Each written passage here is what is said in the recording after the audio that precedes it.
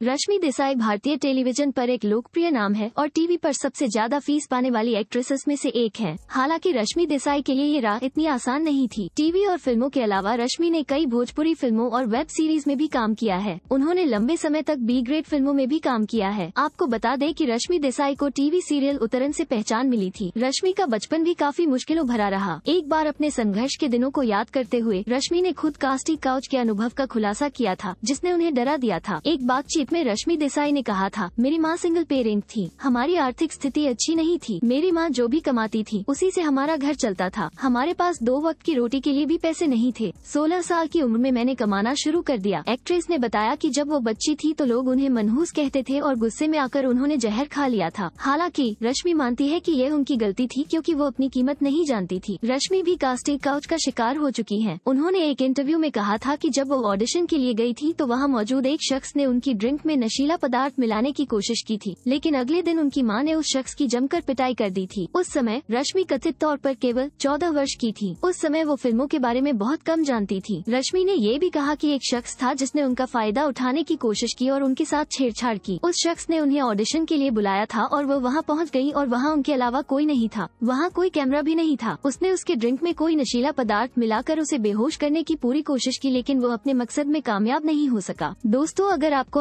हमारा वीडियो अच्छा लगे तो उसे लाइक करे शेयर करे और ऐसी ही दिलचस्प जानकारी पाने के लिए हमारा चैनल फॉलो करें।